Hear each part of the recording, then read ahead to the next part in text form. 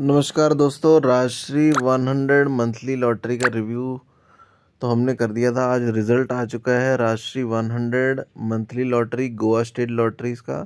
पहला इनाम 35 लाख रुपए का है, जो कि जी कैटेगरी में से आया है four nine seven zero five. Second इनाम एक लाख का है, जो कि two three four eight two का आया है।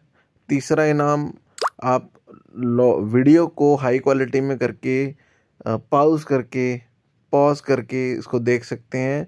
दूसरा इनाम है ज़ीरो टू थ्री सेवन और उसके बाद ज़ीरो से लेके आगे आखिरी की आपकी लॉटरी के चार जो डिजिट होंगे, वो फिर सिक्स इनाम तक जो है आपके यही माने जाएँगे। तो आप जो है अपने चैनल अपनी लॉटरी के आखिरी के चार वर्ड तीसरे इनाम से चेक कर सकते हैं। आपका इनाम ज़रूर निकला होगा कहीं ना कहीं। चैनल को लाइक, शेयर, सब्सक्राइब करें। हमारे साथ बने रहें दोस्तों।